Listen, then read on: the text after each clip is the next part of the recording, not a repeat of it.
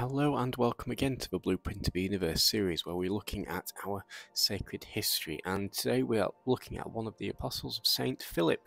Now Saint Philip was described as a man alone and that he at one point or another had um, a sole mission unlike that of uh, other, others and went on his own instead of in pairs like the rest of the apostles.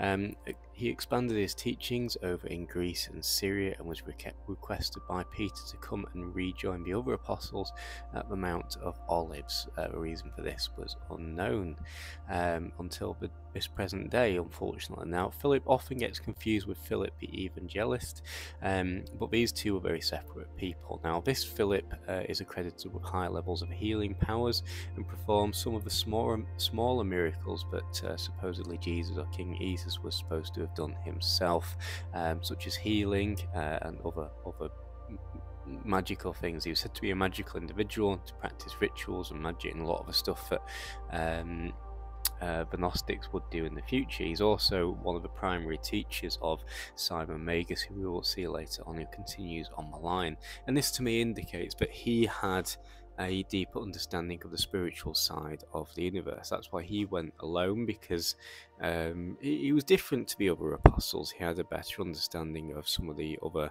um, uh, deeper practices and meanings. And he was obviously held in high regard, which is why he was summoned back to the Mount of Olives, which is when the Jewish revolt started, uh, and he gave uh, Jesus gave his speech to uh, to begin the revolt.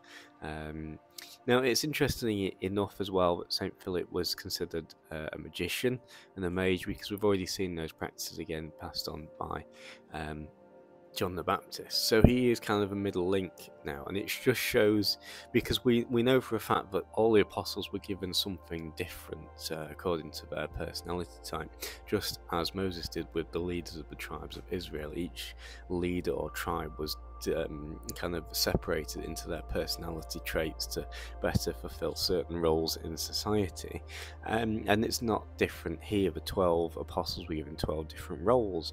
Now, St. Philip was obviously the, the, one that had the most spiritual power, the most understanding of that side of things, and copied Jesus himself, like I say, with many of the miracles and the magic and the higher levels of, of um, practices and performances.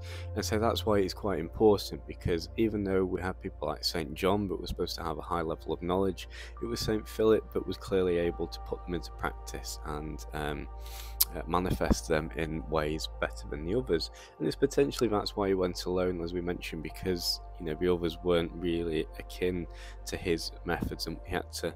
He, he was told to go off and, and do his own thing because one, he was capable of doing that, but two, the others may not have understood the methods in which he used to practice and portray some of the things he was given. Um, so it's quite an interesting figure, and again, it's important to mention because he, he will be the primary teacher of Simon Magus, who is the primary line holder for the next um, passing of the Gnostic system, and uh, will create the Cephians later. And it's said to be his one of his inner circle um, disciples. So Philip is kind of he plays a role of the shaman, in fact, because although he's part of the 12 he's not as involved as, as the 12 he kind of sits on the outside has all this ability, sees things from afar, but equally gets involved when he needs to, and that's the shamanic concept, the principle. So he, he holds this ideal in quite a high position, um, and he plays the role of a traditional shaman practitioner. Um, as we've mentioned in so many of the videos, if you look at my shamanic series, that is one of the roles that they have. Is they are the black sheep in effect. They sit on the outside of the village. They watch what happens in the village from afar, look from the outside as well. So have an outside pointer's perspective, and then they get involved when they need to to create change to guide them in the right direction with knowledge above. But equally, they are separate, so they have a responsibility or a burden of not being um, directly involved in the social groups uh, as such, because that's that's part of their practice. Um, and this is also seen in the prophet line, the prophets of Mount Carmel and the prophets of um, the house of David, they were always on the outskirts. They always lived outside of the city and then appeared when needed, but went back and continued the line of development in their own way, in their own practices, and then jumped in as required uh, when aid was required by the kings. And I believe that is what the role of Saint Philip is, and he quite possibly is the one that was picked to continue the prophet line side, and we have Saint Peter, who was the uh, priest side of the line, um, and then we have obviously the king line itself in the centre. And it's interesting that, that the prophet side, and obviously Saint Philip passed on to Saint Magus, who would become also the new prophet line uh, outside of the church, which would be the, the priest line as such, and then you had the royal line. So it's quite important, really. It, it dictates a very um, uh, key bridge of transition between these individuals at this time. So, hope you've enjoyed. Please like, subscribe, and share, and we'll see you next time on the next video. Uh, but for now, take care. Goodbye. Hello and welcome again to the Blueprint of the Universe series where we're looking at our sacred history and today we are looking at one of the apostles Saint Philip. Now Saint Philip was described as a man alone and that he at one point or another had um, a sole mission unlike that of uh, other, others and went on his own instead of in pairs like the rest of the apostles.